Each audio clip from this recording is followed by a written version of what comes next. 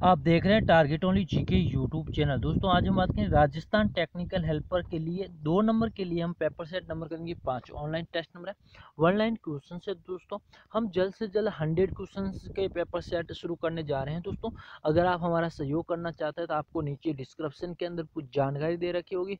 आप उसमें सहयोग करना चाहिए जो भी करना चाहिए आप कर सकते हैं। दोस्तों पेटीएम के माध्यम से फ़ोनपे के माध्यम से अकाउंट के माध्यम से, जो भी आपको इच्छा लग रहा है कि कोई ज़बरदस्ती नहीं है बट जो भी आपको लग रहा है कि सहयोग करना चाहिए सर का तो आप हमें सहयोग कर सकते हैं दोस्तों। तो आपको नीचे डिस्क्रिप्शन के अंदर पूरी जानकारी मिल जाएगी, उस हिसाब से आप हमें सहयोग कर सकते हैं। तो चलिए देखते हैं, शुरू करते हैं आज के क्वेश्चंस के बारे में। क्वेश्चन से पहले चैनल पर पहली बार है तो लाल बटन यानी सब्सक्राइब कर लीजिए, साथ में इस बेल आइकॉन पर भी क्लिक कर लीजिए दोस्तों, जैसे ही हमारे वीडियो के नोटिफिकेशन आपको मिलता रहे और इस वीडियो को लाइक करना ना भूलें। तो चलिए दोस्तों, पेपर से हमारे पाँच के क्वेश्चन की शुरुआत करते हैं। पहला क्वेश्चन है दोस्तों, नृत्य जो केवल पुरुषों द्वारा किया जाता है, वो कच्ची घोड़ी के नाम से जाना जाता है।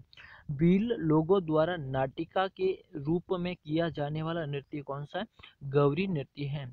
राजस्थान में सर्वाधिक महत्वपूर्ण लोक देवता किसे मानते हैं? तेजाजी को माना जाता है। विष्णु संप्रदाय के पर्वतक गुरु जाम्बोजी का संबंध कौन से स्थान है? तो मुकाम धाम। मुकाम धाम कहाँ है? बीकानेर के अंदर है। बोहरा संपर्क बोहरा समाज का उर्स कहाँ लगता है दोस्तों?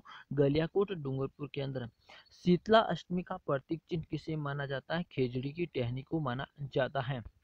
रणकपुर मंदिर किस तीर्थ कार को समर्पित है? तो आदि तीर्थनार को समर्पित है। जोगी महल कहाँ स्थित है? रणथंबोर के अंदर। रणथंबोर, सवाई माधोपुर।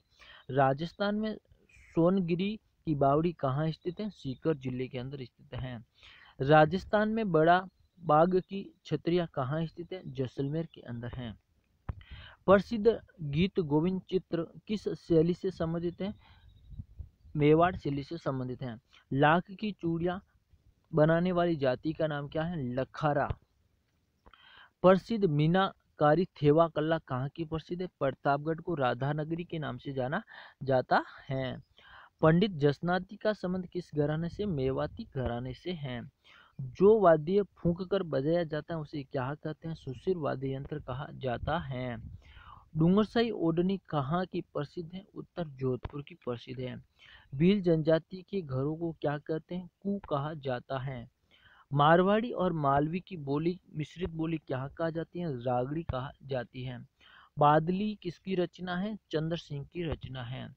वह साहित्यकार जो राजस्थान का अबुल फजल के नाम से जाना जाता है मनोतनसी अपने सुझाव कमेंट बॉक्स में ज़रूर दें दोस्तों। अभी तक आपके पिछले वीडियो नहीं देते, आपको नीचे डिस्क्रिप्शन के अंदर लिख मिलेगा, एक बार ज़रूर देख लीजिए। नए वीडियो में फिर मिलेंगे। जय हिंद, जय भारत, धन्यवाद।